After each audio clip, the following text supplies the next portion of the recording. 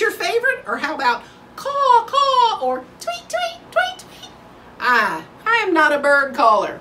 Maybe you're a better bird caller than me.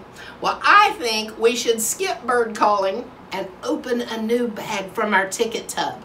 Hey, Penelope. Hey, it's Crazy Crafter Mrs. T here again.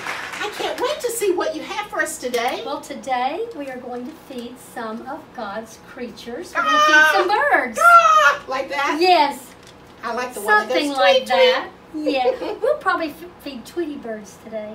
Oh, good. You know, birds are really amazing, all the things that you said.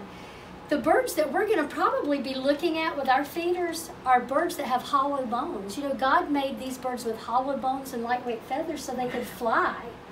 And some birds, like an eight foot ostrich, has really heavy bones, very dense. I don't think they fly. They don't fly, so we can't say that all birds have the exact same thing in common, things in common, but God made them for their specific needs. You know, they made their bodies the way The master designer knew what he was doing. he did. He had it all figured out.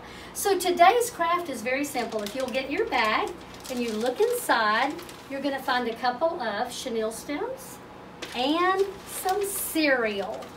Ooh, can we eat the cereal? Well, you know what? I wouldn't. Don't eat this cereal.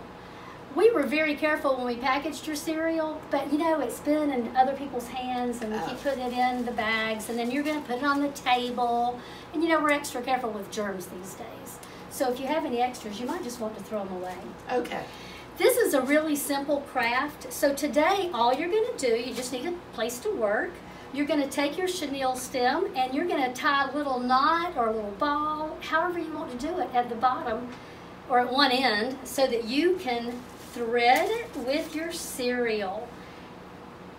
And you just thread it and thread it because the birds will enjoy this. So, you these are going to feed the birds. these are going to feed the birds. We're going to make, and this is mine. Ah. This is a finished one that I have. You can see where I started at the bottom just so they wouldn't fall off. And I made a little hook and top. That way, you know, you can hang it outside of a window if you want to watch the birds. Um, maybe you have somewhere in your on your back porch, anywhere that you think you could watch. It'd be great if you could watch through a window, not to scare them away. And you know what? You may not even get to watch them. They may sneaky eat it when you weren't looking. Well, I hope we get to see. I That hope would you be do fun. too. But you all, this is easy. We put two in there just so you can make two different ones. You could make it one big long one. You can make it into a circle. You can do whatever you want to do with it. There is one thing I'm going to ask you to do when you're finished, actually when the birds are finished. Please go back outside and take the chenille stems. We don't want to leave them outside. Now, some birds may take your chenille st- stem and put it in their nest. Oh, it'd be part of their nest. Yeah, because they do take things from nature, and if we leave this out in nature, they might use it. And if they do, that's okay. But if not, you want to go outside and bring it back in and maybe make another one. oh, You could would be probably continue to reuse it often. But I want you to have fun doing this and have fun feeding the birds. Thank you, Crazy You're Crafter welcome. Mrs. T. This is fun, and it'll be fun later too Right. when we actually get to watch the birds. That's right. That's awesome.